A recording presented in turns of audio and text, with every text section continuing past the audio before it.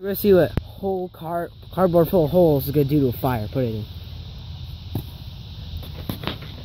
So now we just wait, and you'll see. SpongeBob. It is pretty much SpongeBob. So if we just wait, a bunch, eventually a bunch of smoke will come out of all the tiny holes.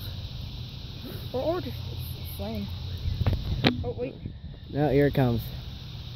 Oh, Here's a few of them. Ah, Here they come.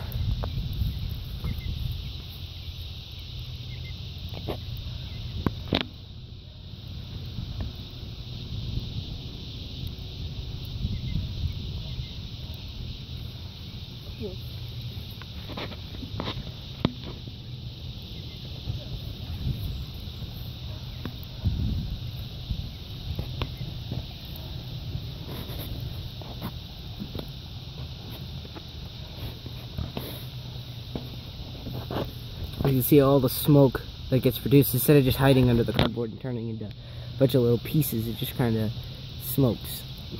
I mean, it turns into a bunch of pieces anyway, but